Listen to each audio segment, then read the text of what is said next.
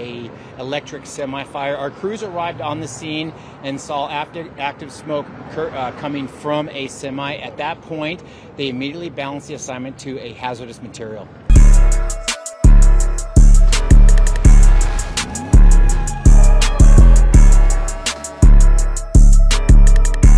YouTube, YouTube, what is going on? I'm your host, Runaway Child, and I'm back at y'all with another one.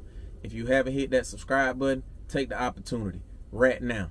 Go ahead, hit that subscribe button. And if you're already subscribed to the channel, hey, throw a like on this video. A like don't cost you anything to throw on this video. It is for free, so please show your boy some love. But anyhow, what I got for y'all today is, what do y'all think about these electric trucks catching on fire? A lot of them has been catching on fire here lately. I don't know if y'all saw the one that caught fire out in Arizona, but I think this stuff is really dangerous. I mean, I was all for it in the beginning, you know, electric trucks, new thing, you know what I'm saying? You won't have to, you know, worry about the diesel prices and all of that stuff and, and DEF messing up your truck and this, that, and the third. I was kind of excited for it, and I was even going to put a down payment and try to, you know, get one for the future. But I'm starting to see a lot of articles where these trucks are catching on fire left and right. I don't know if they haven't figured out the bugs to it or, or what's going on.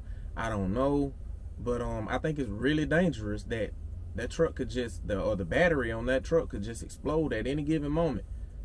And if I was a shipper, I would be worried about my freight. You talking about hundreds of thousands, maybe even million dollars worth of of merchandise that would be, you know, transported on these trucks.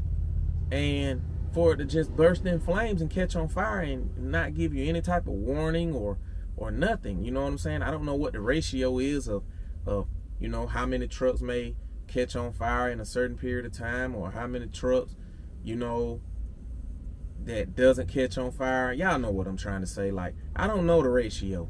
You know what I'm saying? But all I know is it's very dangerous. I would hate to be in a sleeper berth trying to sleep and then next thing you know the truck is on fire and I can't get out.